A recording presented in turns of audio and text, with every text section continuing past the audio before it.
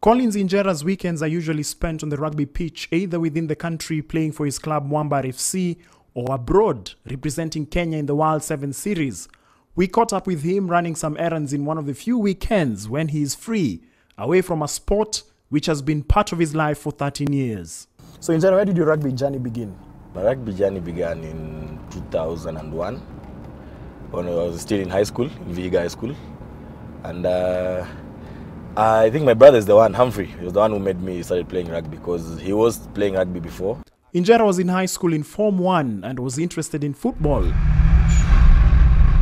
But the exploits of his elder brother, Humphrey Kayange, who was a member of the Kenya rugby team at the time, influenced him to try out the game played with an oval ball. Actually, I was a, I was a very good goalkeeper and a striker at the same time. So when I, when I joined uh, high school, I remember when I went to the, I think I'll call it like the trials know, for the school team. There were so many of us, and some of us didn't get a chance to, to showcase our, our skills. So I think I looked there on the other side of the pitch and I saw some few guys playing with the, with the rugby ball. Then I just decided to go and join them, and that's how I started playing rugby. Injera was a natural on the pitch and he was soon selected into the school team for his pace and resolute defense. He finished high school in 2004 and joined Ulinzi Rugby Club where Kayange was. The club was disbanded and he joined Mwamba in 2006. Injera was playing for Mwamba's second team in the second tier league, the Eric Shirley, and it came as a pleasant surprise when he earned a call up into the National Rugby 15s team that had been invited to South Africa to play Southern Spears franchise. I was very excited. Uh, I didn't have a passport. So definitely the union helped me get a passport. I get I got the yellow fever, yellow fever certificate. And definitely boarding a plane for the first time, it was it was quite an exciting moment for me.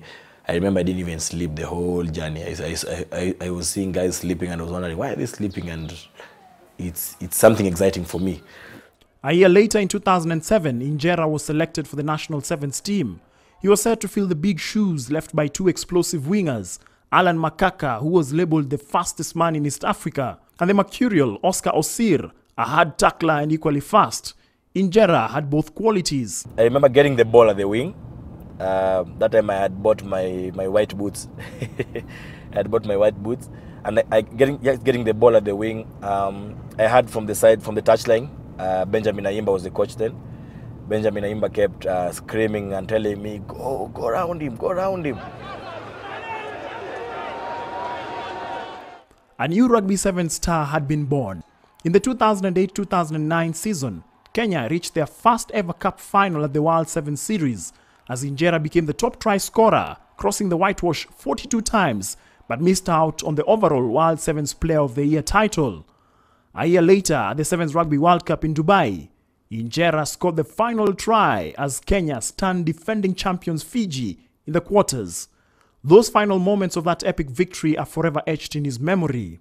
We didn't go in saying we need to win this game. We didn't go in saying that uh, we really want to beat Fiji. We went in, we decided to enjoy the game, and we said, whatever works for you, you do it.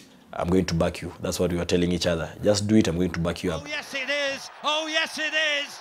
And it's away, and the score is by Collins Injera. The celebrations can be rampant now. Kenya lost to Argentina in the semis, but it elevated Injera and his teammates to celebrity status. In the following seasons, Kenya's performance dipped considerably, and the technical bench was revamped twice, with Mitch Ochola succeeding Benjamin Ayimba. Ochola lasted only a season before he was shown the door as well. Mike Friday, the first foreign coach at the helm of the Kenya Sevens team, injected a new spirit into the squad. Kenya made history once again, reaching the main cup final of the Wellington Sevens in 2013, beating hosts New Zealand at their home turf. The victory is still fresh in Injera's mind. I actually remember it very well. Ripped the ball from Lam, managed to shrug off. Uh, Tomasi Cama was covering, then offloaded the ball to Oscar Ouma. And I, I think when Oscar was headed to the trial, and I couldn't believe that we are going to win this game. I actually didn't be, it, it, it hadn't actually hit me that we are actually going to win against New Zealand in their, in their home turf. Kenya will play the final in Wellington 2030. If you thought Injera loves rugby, then his family comes before rugby. We had to halt the interview briefly as he prepared breakfast for his wife and daughter. Mostly on Saturdays when I'm around, I, I always make uh, breakfast. I like making omelette with three eggs. Maybe saa ingine Chloe anataka one, mama yake maybe one. Unique, uh, there's no unique element, but sometimes I put I put milk when I'm when I'm whipping the, the eggs. Yes. Meka mingi. Acha ndapunguza hiyo ingine, eh? si ndio? Injera has a degree in communications from Daystar University, but is keen on improving his culinary skills. Probably I would, be I would have been a chef. Or like I said, I would be maybe a rally driver. Injera has missed the past three rounds of the World Sevens series, but he denies claims that he has abandoned the Kenya Sevens team, which has been plagued by controversies, resignations, and poor performance. Ahmed! For me, I love I love playing the sport. So it's it's it's a passion that I think no one can take it away from me. I love playing I love playing rugby. That's that's a fact. So what I do, I just try and concentrate on the playing of rugby, and the other things I'm sure they'll sort themselves out. They'll they'll fall into place. Injera's absence from the Kenya Sevens team is glaring, especially when he manages such amazing feats. So, what goes through your mind when, uh, when you get the ball? Oh, I get the ball. Uh, actually, all I want to do is is go forward. Like for, in this case, I think I got the ball on the wing, and uh, just going around the guy, I realized that I had I had I had really cornered myself. I think all all that was left is just go through the guy.